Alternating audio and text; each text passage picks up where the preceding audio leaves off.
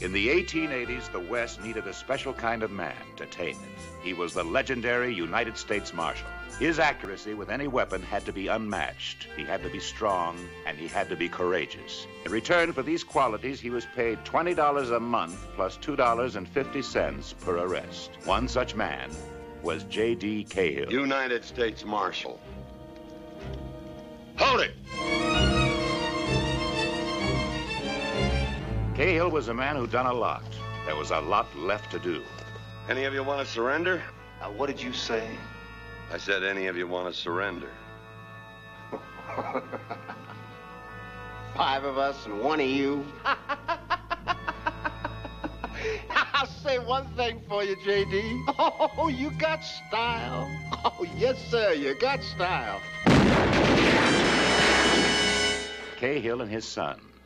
He tried to love them. You ain't never around. Your mother, God bless her. When she was dying, the last thing she said on earth was, Go get him, J.D. And I've been going and getting him ever since till it's no longer just my job, it's part of my life. Well, he doesn't care about Billy Joe and me. You got a bad feeling about your pa because he ain't home every night. To powder your butt and tuck you in. Cahill tried to tame them. I kind of hate to set ourselves against Pa. Hell with J.D. Cahill. Let's go rob ourselves a bank, Billy Joe. Give me the keys. But mostly he tried to protect them. Where's the money? Brother.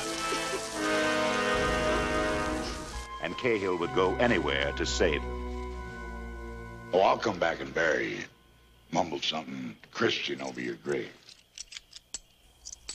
Lightfoot, your kindness overwhelms me. Remember, nobody's to get hurt. Get back.